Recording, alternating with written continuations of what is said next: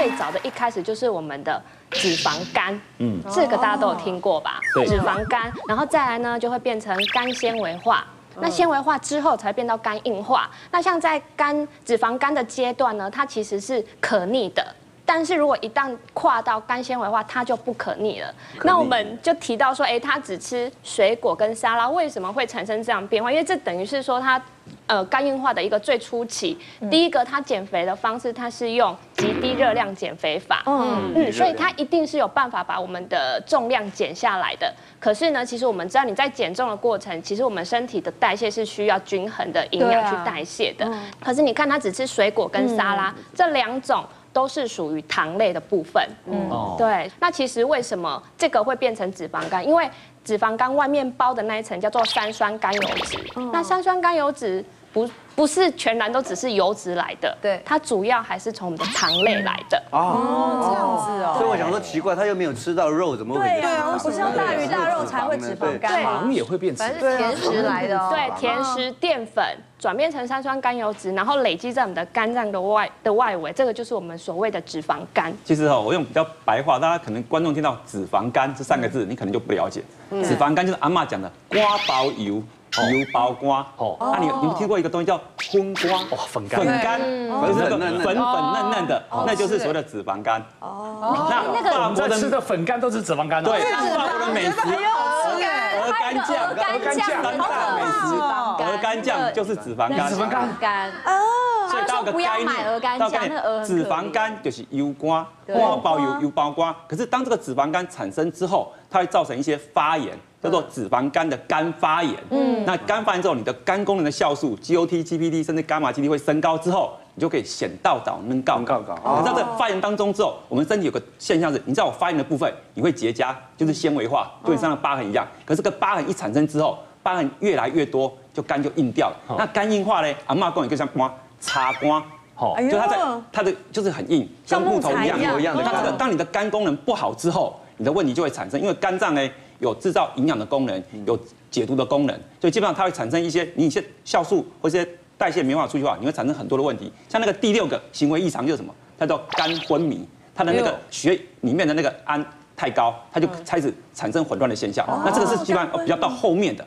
那当你肝硬化之后呢，会造成什么？时代静脉曲张，这时候看什么病人就很容易吐血。那这重点就在于说，你的手不红不痒，是因为我们常说它里面有一些内分泌或是一些荷尔蒙现象的时候，它会造成一些某些地方血管会比较增生，会产生红。但是另外一个现象是，它身上会产生蜘蛛斑。它身上会有很像那种制作那种血管一样，那基本上这就是一种它一个特殊的现象。所以说，其实前面那些东西哦，你会觉得很奇怪，为什么减肥会有这种现象？就说当你造成脂肪肝、造成肝硬化之后，它的状况出来就是变得很多样性。哦，所以说方毅的姐姐如果去做个检查，就发现说她的脂肪肝可能已经到什么？哎，重度的脂肪肝开始有一些纤维化的现象。脂肪肝检查出来是照超音波，记得超音波的检查。肝不是沉默的器官吗？所以他不会，他不会跟你讲说他不舒服啊。他不会，他吐血啦，吐血已经到那已经到末期了才会吐血，对，甚至更严重的话，肝硬化之后什么开始黄疸，眼白会变黄，开始腹水会产生，那这些问题都已经到了肝硬化比较后面的末期。所以那说我减肥有没有办法减到体脂肪？我告诉你，女生都知道，减肥要减到体脂肪难，你要做运动。对，所以有很多人刚开始减肥的时候，他减的是什么？水分，甚至初期的时候减到什么？肌肉。嗯，所以可能减了两三公斤，脱水，蛋白质流失。可是你变胖复胖呢？不管你是胖十八公斤、二十二公斤，你都胖什么回来？都是胖油。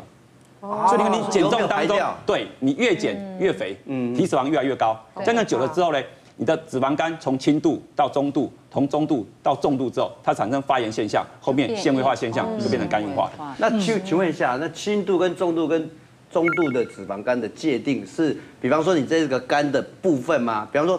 一点点的叫轻度，在越来越多中度，整颗都是就叫重度吗？洪都拉斯，你今天问的这个问题最有学问，真的。哎呦，好关心哦，超有学问，真这辈子问的最有学问的，对，没错。这辈子还没过完，我接下来问，还有机会挑战教育意义的，给大家一个概念哦。如果说你去做一个解剖的话，就是超过百分之五，就开始有轻度的脂肪肝。百分之五，百分之五很少，是的，百分之五不多。所以说肝脏里面基本上它没有办法存那么多脂肪，百分之五。超过百分之十的话，就表示你可能快中度了。然后二十二十的话，就表示你重度了。你不可能把捐肝捐出来，对不对？对。这时候我们就做超音波，超音波有六个六个指标，会告诉你，你这个指标如果有一个指标、两个指标符合，就是轻度。嗯，有三个、四个指标符合，就是中度。有六个指标符合的话，我告诉你，那个六个指标的话，就超过一兆，你的肝脏。白白亮亮的，粉粉嫩嫩的，超级好吃。哇，我讲的那么开心，超级好吃。因为我们常说，其实你不这样去跟病人讲，病人会觉得，哎，脂肪肝他觉得不痛不痒。其实今今天讲放在这个个案说，以现代人的饮食，我们脂肪肝的比例越来越高。那你不从基本从血脂肪去处理，不从体脂肪去调整的话，我告诉你，脂肪肝说实在，虽然营养师说可逆，可是要到可逆到这个地步，你的努力，嗯，比你减重。要难十倍以上，辛苦更多。一般来讲，你知道吗？以前呢，我们都都不重视脂肪肝这个问题。可是呢，像呃美国这几年呢，他们都很担心这种脂肪肝啊造成的脂肪肝性的肝炎啊，有可能是他们下一个世纪要面对的最严重的肝炎问题。为什么呢？因为它跟肥胖是息息相关的。然后他就发现说，一般最常见会得脂肪肝的是谁？你知道吗？是爱喝酒的，我们叫做酒精性的肝炎。对啊，酒，因为酒的热量非常高。所以爱喝酒这群人最容易有脂肪肝，可是现在呢，有另外一群人的脂肪肝也很多，就像女生这种，第一个反复减肥的，第二个是什么呢？是那种。爱吃那个手摇杯的，叫做高果糖糖浆。他们就发现说，如果你一天摄取的热量里面呢，有超过十趴是是这种精制糖来的，精制糖就包括你那个手摇杯的果糖啊，或砂糖，然后甜点的糖，甜点，其实你的风险就非常高了。对，那一天十分之一的热量很少，因为女生一天可能需要不到两千卡，所以如果你有超过两百大卡来自于精制糖，就已经是超过。所以你所以你只要一个手摇杯就过了。对，我们不胖不胖没有减肥也是有可能，也是有脂肪肝，就是你如果摄取大量的，外表就像好方鱼好了，或你们看起来都很瘦，很瘦小，但我只要一天喝一杯，有可能你也有脂肪肝的。对对，尤其是是不一定是。轻度的，尤其是你喜欢喝手摇杯或吃相对有果糖比较多的果糖。第三种是他们发，你会发现他们在做鹅肝酱，在养那些鹅的时候会做一件事，他一直喂啊，一直喂它，并且他们把它去禁锢住，让它不能动，因为所以第。三件事不动，一直坐着，这一群人也发现是脂肪在肝的危险区。不运动，就是你会觉得说我没有特别吃的多，赶快赶快给他老师，赶快快给他老师。要动，坐着要动。这一群都不动的人，他也是脂肪肝的高危险群。那以前都觉得脂肪肝没关系，只是油油亮亮，后来发现没有。这些即使是非酒精性的脂肪肝啊，有每五个还是有一个会变成所谓的脂肪肝肝炎。可接下来呢，它这变成肝炎比较严重，就形成结疤组织嘛。就像你像你手如果受伤发炎了之后，你会发现会变成有一个颜色比较暗，然后是比较硬硬的疤，那就是肝纤维化，它也是这个样子。它那个受伤发炎的地方就结痂了，然后就硬硬的，然后越来越多，越来越多，越来越多，你就肝硬化就越来越严重。肝硬化肝纤维化到第五度的时候，它就非常硬。硬的时候会发生一件什么事，你知道吗？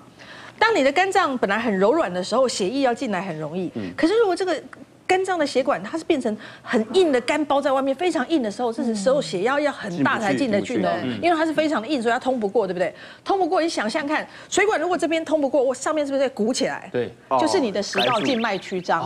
这时候吃东西是把它那个静脉曲张这一块磨破了，就吐血。哦，了解。而且那吐的血都非常，就有时候吐血非常大量，而且你不要以为，哎，你想说进去的地方因为进不去嘛，肝硬掉了，所以血管往上就砰一个起来，对不对？最严重的肝脏硬化，那个医生跟我说，他遇到一个最后去换肝的原因是啊，他那一次出血来的时候，他说一根不能用脸盆在他的肛门那边接，因为他就血一直喷，一直喷，一直流出来，一直流，因为他整个那个都破掉。破掉。我想请问一下，因为之前有讲反复的这样减重，然后复放，减重复放，我们什么时候才能够知道，哎，是不是肝应该要稍微去控制一下？减重当中哦，你不要只看你的体重减轻，你不要说哎看到你账面上哎你体重减了五公斤你很高兴，这时候你要去做什么体脂率的检测，看你有没有真的把你瘦到你的体脂肪有减少。那当然像红哥说，你真的担心肝功能有没有脂肪肝，那就去抽血验肝功能。我常跟你讲。肝胆十项检查一抽，再做个腹部超音波，抽血就完全知道了。应该说抽血可以知道你的肝功能，那基本上做超音波才知道你有没有脂肪肝。他说在肝脏的追踪里面，在小心肝的检查当中，就是要抽血，还要做腹部超音波，看你的肝胆胰脾肾。那怎么避免肝硬化？怎么避免呢？对啊，不要减肥，不要让它进到这个这个。应该说你不要肝硬化之前就不要肝发炎。不要肝发炎是不要脂肪肝，要让你的脂肪肝慢慢的消失。那脂肪肝是可逆的，脂肪肝是可逆的。运动，呃，就是减肥生。活习惯正常生活作息正常，饮食配合营养师的方式，那把你的体重减下来，是能够减到你的脂肪。找一个小心肝跟你一起努力，创造美好人生，真的要我觉得男生有一件事我想提醒，哎，就是之前那个肖敦仁医师啊，他分析他那个他诊所里面这些脂脂肪肝的患者的资料，发现一个很有趣的现象，就是男性的脂肪肝里面呢、呃，他同杯杯系脂肪肝可能两个都是中重度好了，可是有一个会肝发炎，有一个却不会。那他们去分析，哎，有没有什么变因是会影响这个的？他发现，在男性哦，爱吃什么？你爱吃那个